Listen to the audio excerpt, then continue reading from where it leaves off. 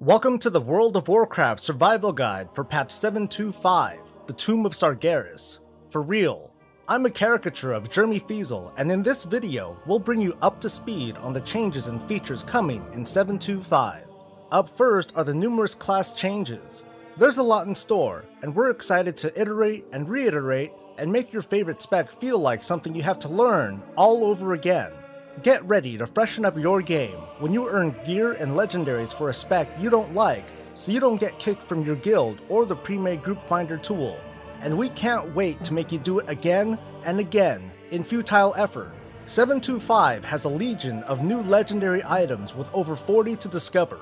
We hope that you'll be lucky enough to earn them and unlock the potential for your characters that you used to have with major glyphs. For those of you just joining us and jumping into Legion now, or if you're interested in trying out a new spec or character, Get wrecked. you might be experiencing the Broken Isles with only a fraction of what your characters are capable of, but steel your resolve and keep that subscription active. If you already have a collection of legendaries, you'll be able to complete a quest line that will upgrade them up to item level 970. This quest should be familiar if you've upgraded your legendaries in the 715 patch, and this time, there shouldn't be any problems progressing through the questline. We promise. 725 introduces time walking raids, a familiar feature with a new twist that will bring you and your comrades back in time to defeat Illidan in the Black Temple raid.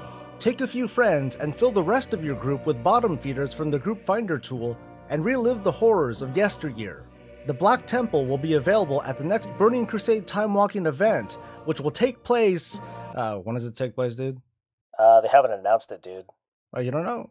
No, I don't see it on the calendar at all. You don't know? For real? Fuck. It's going to be even easier for you to underappreciate the world leveling content and complain that there isn't enough to do. 725 will hold your hand even more with heirloom upgrades that work up to level 110, and heirloom flight maps for the Eastern Kingdoms and Kalimdor.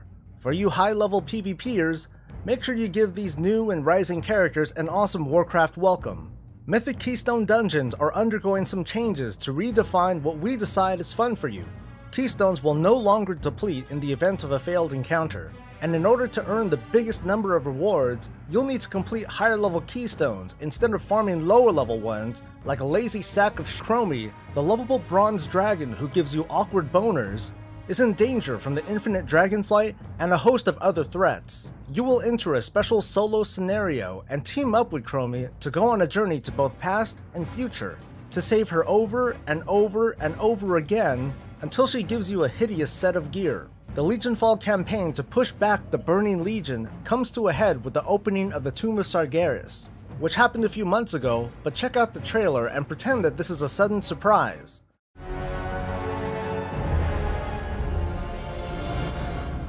That's awesome! You and your friends, or you and the faceless tools that you pugged, will venture inside the tomb and face off against the Legion's most fervent defenders, desperate to prevent you from stopping their invasion of Azeroth. You may have heard of only one of them, but they've heard of you, champion. Meanwhile, for those of you looking to buy a carrier for the Mythic Gul'dan mount, and international money launderers looking to sell them, the Trial of Valor and Nighthold Raid will be available for cross-realm grouping on Mythic difficulty. For you non-readers out there, don't worry. There are plenty of features in store that you can discover and rediscover, like all the stuff you've been doing since almost a year ago, and all the features you've been ignoring because you think they're beneath you. But there's more, including content that won't affect your performance in any way. You can race a gnome, dance for the amusement of others, stare at baby Moonkin, play dress up, and encounter a new pet battle dungeon. We can't wait for the 22 of you to join us on the fun. You can read more on our website at worldofwarcraft.com. Thanks for watching, and we'll see you in the tomb. Unless you only play on LFR difficulty, then we'll see you in August.